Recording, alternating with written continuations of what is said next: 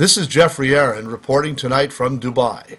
We are here to find out what's new and next during a year stacking up to be more turbulent than anyone had expected. Uh, my name is Peter Sedgley. I'm the Senior Vice President, Cargo Commercial Operations for Emirates Sky Cargo. Mr. Sedgley, sir, what is the top priority right now?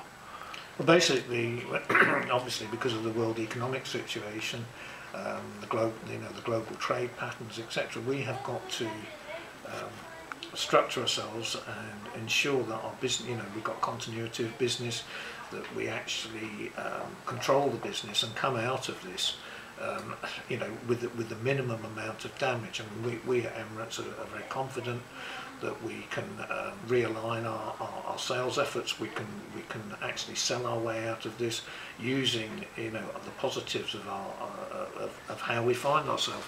We've got a very modern fleet. We've got a very good good um, route network, etc. So you know we're applying all our all our if you like energies to optimizing and, and rationalizing the business that we do, controlling the costs we feel that you know, yes, we will come out of this, and we'll come out of it a much better, a much stronger airline, as you've already alluded to. Fact that you know this is a time when we need to look at the the, the, the processes, the quality of what we're doing, uh, ensure that we are, in actual fact, uh, optimising best practices. What do you say to the reports in some of the media of the uh, situation in Dubai? There's there's a lot of speculation in, in terms of you know uh, people uh, saying, well, look, you know, the, the bubble has burst, etc. The, the Dubai government, um, you know, haven't undertaken the, the, the, the or the, the government of the UAE, indeed, haven't undertaken this this program of expansion, development, etc. as as a sort of a, a one-off whim. This is this is structured, it's planned, and it will progress, and and, and it has a, a sound economic and commercial basis to it. So that yes, there there will be there will be a necessity to to review certain certain aspects of, of, of, of, the undertakings that they have and say, well, look, that's not a priority at this point in time. There is, um, a, a, you know, globally, there is there's obviously concern in the banks about liquidities, etc. But I think that if anywhere in the world is capable of coming out of this stronger, Dubai will come out of it stronger, better, and more focused.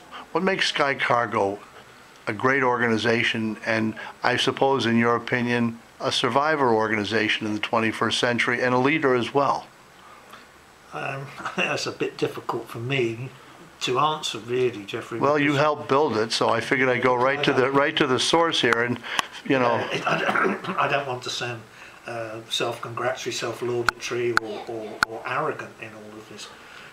I think that We've had tremendous support from our owners um, who had a, a, vision for Dubai. We are part of that vision of Dubai. Um, we've been given um, a lot of latitude in terms of how, how we do our business. Um, when we set out, one of the things that I always remember that the chairman, um, Sheikh Ahmed, said is that he wanted cargo passengers, uh, cargo customers, sorry, yeah. afforded the same considerations and respect as the as the passenger counterparts. And, and basically what, that's unusual yeah and, and basically what the, the vision of, of, of, of Dubai is um, and especially of Sheikh Ahmed that we will we will always strive to deliver service excellence um, in a profitable way, of course. Um, and, and, and, you know, this is fundamental to the, the, the, the, you know, the, the philosophy of the ruling family is that, yes, you undertake um, commercial enterprises to make a profit. You don't, you don't do it because it seems like a good idea at the time. Um, so yes, Dubai, you know, Emirates has always been very strongly commercial. It's had to stand on its own two feet because of, of, of, of that fact. And you look at how we've evolved and the periods that we've evolved through. Yeah. There have been wars, there has been SARS, yeah. there's been all these, there's been economic turmoil in the yeah. 80s, etc. So, yes, you know, um, this is not new to us. You know, we've always been sort of surrounded, if you like, by these challenges. And, and, and so we've always kept the organisation pretty lean, we've always kept it, the management structure pretty flat. Um, so that we can we, we can take advantage of, of opportunities and also that we can manage risk down and challenges down. And I think that, that really the, the, the success of Emirates is due to the fact that we, we, we listen to what people say. We are not um, hidebound by legacy, and uh, we, we, we will um, see a lot of the time challenges as opportunities. And I think that that, that sort of pioneering spirit is fundamental to Emirates and, and, and the success of Sky Cargo.